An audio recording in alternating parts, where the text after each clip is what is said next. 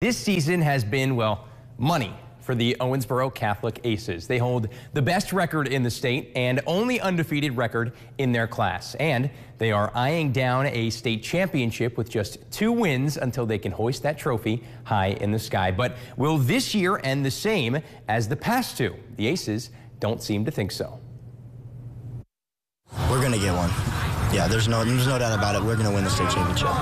Owensboro Catholic isn't shy on confidence. At 13 and 0, the Aces are in a prime position to win the state title as the Class 2A frontrunner. We're just getting started. This whole program's just getting started. After we win a state championship this year, there's just only that the ceiling's the limit. Really, there's no there there actually isn't a ceiling on what this team can do. Without looking too far into the future, OCAF has had a season unlike any other. Much of the reason is their starting quarterback, Brady Atwell.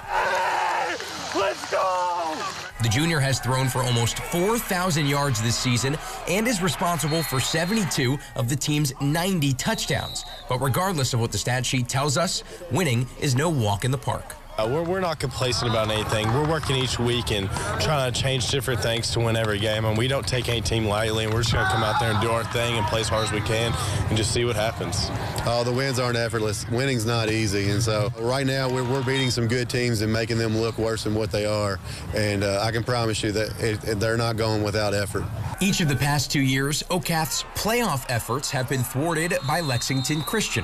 But after the Eagles' 22 point loss to Mayfield last week, that roadblock is no longer a threat. It definitely feels good to not have to play them. However, I mean, I wish I would have got my lick back to say, I mean, you know, that game came down to the wire and it was a really left a sour taste on mouth. They're rocking my shoe. I'm ready to. We, if we played them, it wouldn't have changed the preparation any different. We're ready. Owensboro Catholic will have Somerset to face this Friday, and the preparation is almost finished. But with a trip to Kroger Field on the line, the Aces are glad to be on their home turf. It's a 12th man for sure. I mean, you get still Stadium rocking, and it's hard to come in here and win. Oh, man, packing the stands is where it's at. Uh, you know, we play so much better when we got our home field and our crowd here behind us, and we look forward to a big crowd Friday night.